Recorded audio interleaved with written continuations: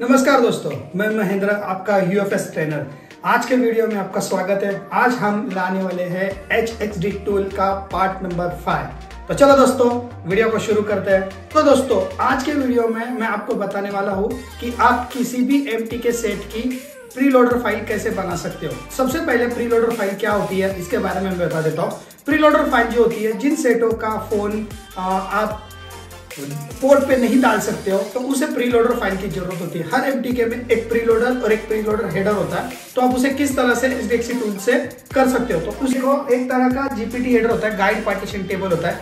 जब तक उसमें आपका प्रीलोडर नहीं होगा, तब तक आपका फ़ोन पोर्ट नहीं बनाएगा। तो यहाँ पे आप देख सकते हो, मैंने यहाँ पे एक आईसी कनेक्ट किया है। आप देख सकते हो, यहाँ पे कुछ भी नहीं है टोटली ब्लैंक आईसी है। इस आईसी में जैसे मैं एम की स्कैटर फ़ाइल डालता हूँ। आपको यहाँ पे मैं दिखा देता हूँ यहाँ पे स्कैटर फ़ाइल को सिलेक्ट कर रहा हूँ। सो so, जैसे कि कोई भी स्कैटर फ़ाइल जैसे मैं अपलोड कर देता हूँ तो यहाँ पे मैं जैसे स्कैटर को ले लेता हूँ जैसे स्कैटर में ओपन कर दूँगा स्कैटर के अंदर आप देख सकते हो कि ये सारी इंफॉर्मेशन आ जाएगी। तो इसके अंदर आप देख सकते हो दो आपको फ़ाइल मिलेगी एक प्री लोडर और प्री लोडर दो प्री लोडर है एक आपको दिखाई दे रहा होगा 250 256 केबी और एक आपको चार एमबी का दिखाई दे रहा है। तो ये जो प्रीलोडर है, यही प्रीलोडर आपके सारे जीपीटी पार्टीशन को क्रिएट करता है। जब तक आपके जीपीटी जीपीटी मतलब गाइड पार्टीशन टेबल जब तक आपके गाइड पार्टीशन टेबल बनेंगे नहीं, तब तक ये आपका आईसी या ये आपका मोबाइल है पोर्ट शो नहीं करेगा। तो इसके लिए आपको दो फ़ाइल की ज़रूरत होती है। तो ऊपर का जो है, ये है आपका प्रीलोडर हेडर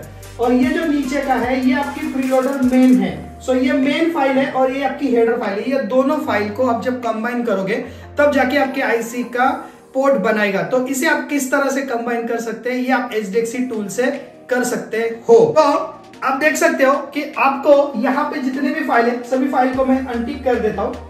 देखिए, सभी फ़ाइल को अनटिक करता हूँ। दो ओनली दो ओनली जो दो प्रीलोडर फ़ाइल है, उसी को मैंने यहाँ पे टिक किया और इसी को राइट कर रहा हूँ। जैसे ये मेरी आईसी जो पूरी तरह से ब्लैंक है, इस आईसी के अंदर प्रीलोडर फ़ाइल अपलोड होने के बाद आपके जीपीटी बनेंगे। देखो, यहाँ पे प्रीलोडर अपलोड हो रही है, आप देख सकते हो। तो जैसे ये प्रीलोडर अपलोड हो जाएगी तो जितने भी जीपीटी पार्टीशन थे, वो सारे के सारे पार्टीशन शो करना हो जाएगा। यहाँ पे आप देखा, दिखा देता आपको चेक करता हूँ। देखो, थोड़ी देर पहले यही आईसी आपको कोई भी गाइड पार्टीशन टेबल नहीं दिखा रहा था। लेकिन अगर आप देख सकते हो तो यहाँ पे ये सारे के सारे जीपीटी आ चुके हैं गाइड पार्टीशन टेबल सो ये आपका एम का है और प्री लोडर फ़ाइल आपको दो फ़ाइल को मिक्सअप करना पड़ता है, एक हेडर को और एक लोडर को। तो उसको करने के लिए यहाँ पे मैं एच टूल खोल रहा हूँ। सो एच टूल ऑलरेडी मेरे पास है। यहाँ पे मैंने एच के टूल खोल दिया है। इसमें आपको प्रीलोडर फ़ाइल जो है, देखो, अभी यहाँ पे तो मेरे दो फ़ाइल है। एक देख सकते हो, एक एएमएमसी वाली यूनिवर्सल प्रीलोडर और एक यूएफएस वाली यूनिवर्सल ये दोनों भी यूनिवर्सल प्रीलोडर फ़ाइल है। हमें, हम क्या करते हैं, सबसे पहले ईएमसी वाले प्रीलोडर फ़ाइल को एच टूल में ओपन करते हैं। आप देख सकते हो, यहाँ पे जो प्रीलोडर फ़ाइल है, वो स्टार्टिंग हो चुकी है आपकी ईएमएमसी बूट से। ईएमएमसी बूट से स्टार्ट होती है। और जो नॉर्मल प्रीलोडर होती है, अभी मैं एक नॉर्मल सी प्रीलोडर फ़ाइल भी यहाँ पे अपलोड कर देता हूँ। देखिए, मैंने यहाँ पे जो मोबाइल था अभी थोड़ी देर पहले, उस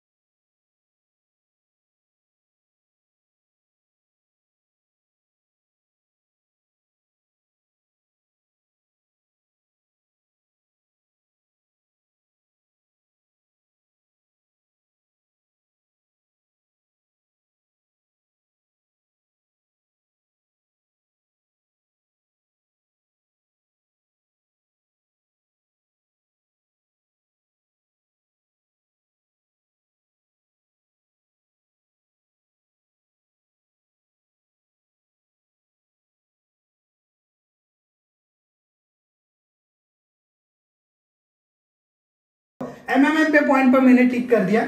और उसके बाद आपको करना क्या है? सिंपली एडिट में आना है। और एडिट में आने के बाद सिलेक्ट ब्लॉक पे टिक करना है। सिलेक्ट ब्लॉक पे टिक करने के बाद ये स्टार्टिंग ब्लॉक तो हमारा एमएमएम हो गया। लेकिन एंडिंग ब्लॉक जो है जो एंडिंग ब्लॉक हमने कॉपी किया था उसे यहाँ पे पेस्ट कर देना है। सो so, ये एंडिंग वाला ब्लॉक यहाँ पे पेस्ट हो गया। जैसे पेस्ट हो जाएगा आपका यहाँ सारा का सारा ब्लॉक सिलेक्ट हो जाएगा। सारा का सारा ब्लॉक सिलेक्ट होने के बाद जो मेरी जो फ़ाइल थी जो मैंने अभी यहाँ पे सिलेक्ट की थी। तो इसको सबको कंट्रोल और कॉपी कर देना है। पूरी की पूरी फ़ाइल को मैंने कॉपी कर लिया। उसके बाद आपको क्या करना है, यहाँ पे वापस आना है और यहाँ पे जैसे ही आप आओगे, यहाँ पे आपको राइट क्लिक करके पेस्ट राइट कर देना या पेस्ट इंसर्ट कर देना सो पेस्ट इंसर्ट पे टिक कर दूँगा। क्या कर देंगे और आप देख सकते हैं ये जो रेड आपको पूरा का पूरा शो हो चुका है। जैसे ये पूरा का पूरा रेड शो हो जाएगा उसके बाद आपको यहाँ से इसको सिंपली सेव कर देना है। सो so, मैं यहाँ पे क्लोज कर दूँगा एंड सेव कर दूँगा। सो so, जैसे ही सेव कर दूँगा आपकी डेस्कटॉप पे और एक फ़ाइल बन जाएगी जिसे बीन फ़ाइल बोलेंगे। सो so, ये फ़ाइल आपकी बन गई प्रीलोडर फ़ाइल और इस प्रीलोडर फ़ाइल को आप किसी भी फ़ोन में यूज़ कर सकते हो कोड बनाने के लिए। वैसे ही आपकी यूएफएस की भी फ़ाइल आप देख सकते हो। सो मैं यहाँ पे एच डी टूल खोल देता हूँ और वैसे ही सेम यूएफएस है। सो ईएमएमसी में आप किसी भी ईएमएमसी के, किसी भी एमटी के सेट कर ले सकते हो। कोई प्रॉब्लम नहीं। वैसे यूएफएस में भी आपको किसी भी एमटीके के सेट का प्रीलोडर ले सकते हो कि ऐसा ज़रूरी नहीं है कि अलग अलग हो। तो किसी भी एम का ले सकते हो। इसमें भी आप देख सकते हो कि यूएफएस देखो पहले जो था तो ईएमएमसी से स्टार्ट हुआ था। अभी जो है वो यूएफएस से स्टार्ट हुआ है। सो यहाँ पे बूट जो होता है सेम होता है। और लास्ट में जो आप देख सकते हो, यहाँ पे